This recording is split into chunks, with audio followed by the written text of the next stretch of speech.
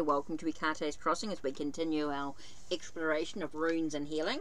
So we're up to Raido, rune of the shamanic journey. The shamanic journey, as it was practiced originally by the Sami, is a dangerous affair to the point that it'll make a man impotent. It is therefore a rune for women.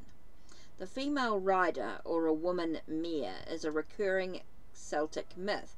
This is primarily why I recommend Raido for women who are burdened by life, who need a new start.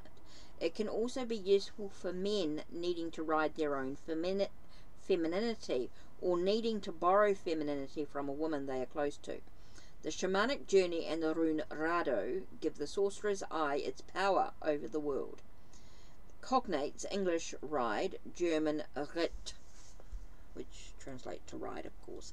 Okay, that's it for today. Don't forget to check the links down below, check the links on my channel, like, subscribe, and ring the bell so you know when the next video will be uploaded.